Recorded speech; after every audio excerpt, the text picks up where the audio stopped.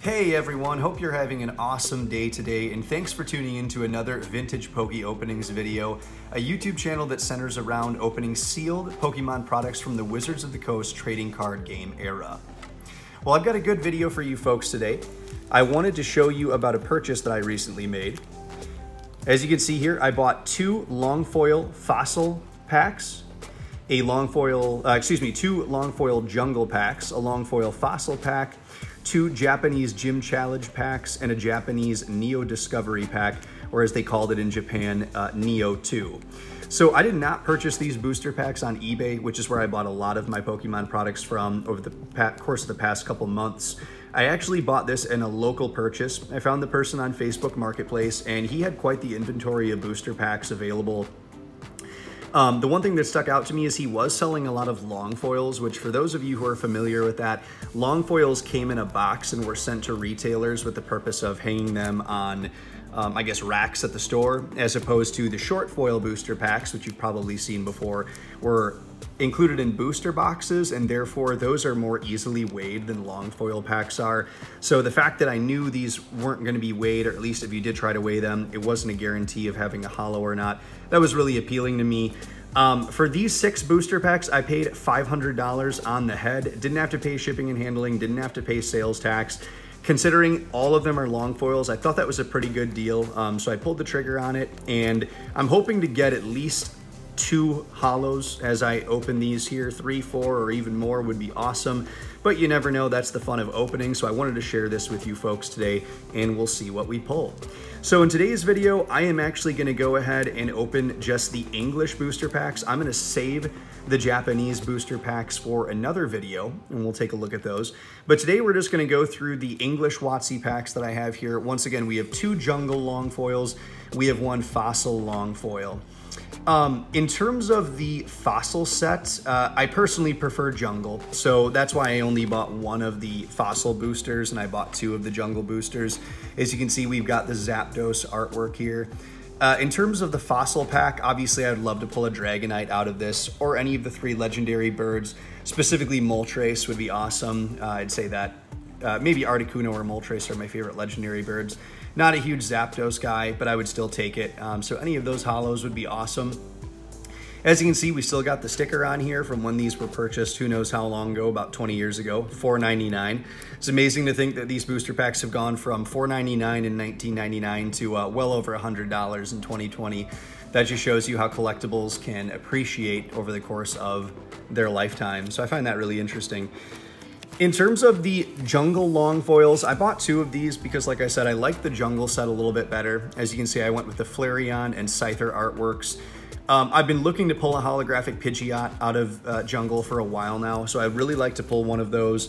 Um, but if I wasn't able to pull a holographic Pidgeot, I'd also be fine with a Snorlax or any of the three Eevee evolutions. There's a lot of really great hollows in Jungle, so I think we'll go ahead and open these up today and see what we can find. As I mentioned, I didn't I didn't even bother weighing any of these um, because like I mentioned with the long foil on them, it's a little bit tougher to really know if it's a true heavy pack or not. So we're just gonna go ahead and open them up and see what we get. Um, the buyer, or excuse me, the seller did give me the option of choosing which artworks I wanted. So, I mean, I knew he wasn't trying to sell me the lightest packs or anything along those lines. Um, he seemed like an honest guy and uh, he obviously let me choose the artwork that I wanted to. So we're gonna go ahead and open this up and see what we can do. We could end up with zero hollows. We could end up with three. I really don't know. So we're about to find out.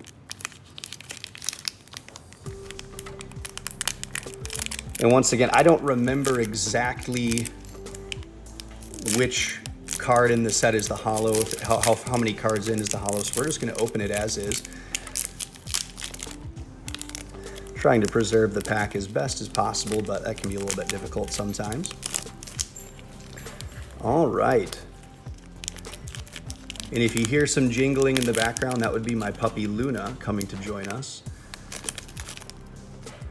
All right, so the first card we have here is an Omanyte, an Energy Search Trainer, a Tentacool, a Psyduck,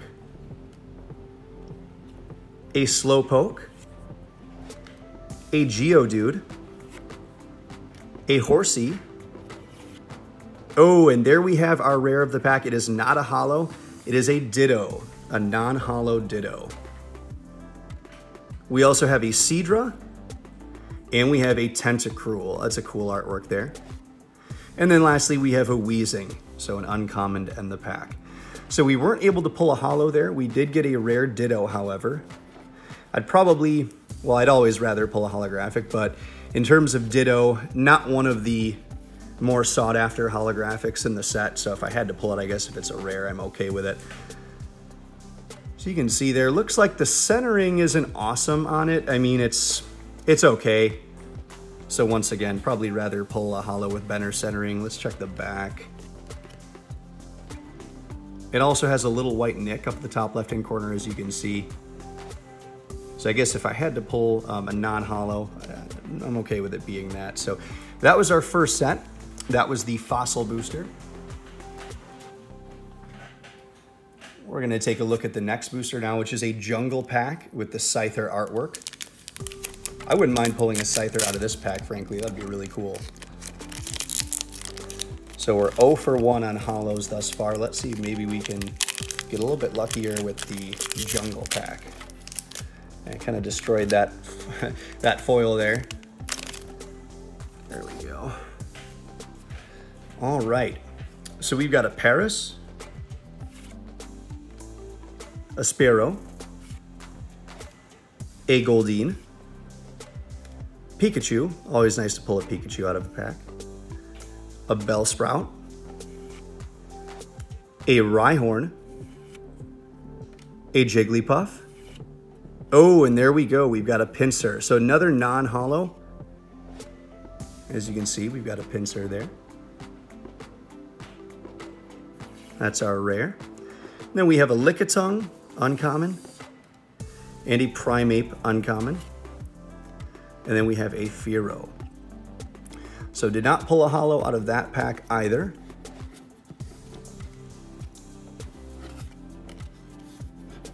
However, we did get a rare Pinsir. Maybe we'll have a little bit more luck with our last pack here. It's a, a Flareon artwork.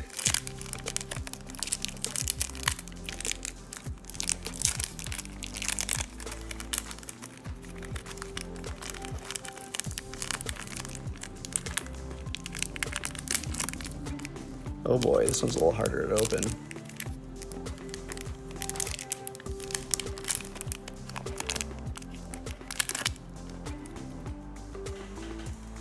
Okay, so we have a Goldeen, an Oddish, an Exeggcute, a Rhyhorn, a Cubone, a Nidoran, a Spearow. Oh, and look at that. We only pulled one hollow out of the three packs, but it's probably the best one you could possibly pull. We've got a Snorlax. Awesome. I'm gonna go ahead and set these down so I can put this in a penny sleeve quick.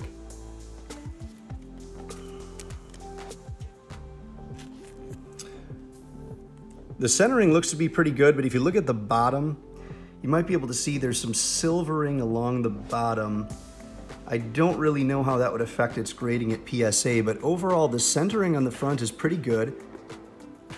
I don't see any print lines or scratches when looking at it up close. It does have the jungle symbol there, so as you may remember, some of these um, some of these packs had were missing the jungle symbol. Um, this one does not. And on the back, centering looks pretty decent. Not perfect, but decent. And I don't see any scratches or anything weird. Looks like, no, I thought maybe I saw a little scratch there, but I don't think so. Awesome. Well, like I said, I mean, if we were gonna pull one hollow in the jungle set, this is probably the most valuable. So that's awesome to see. Well, once again, thanks for checking those three boosters out with me. Make sure to check out my next video in which I'm gonna be opening up the Japanese booster packs for Gym Challenge and Neo Discovery. Thanks again for tuning in.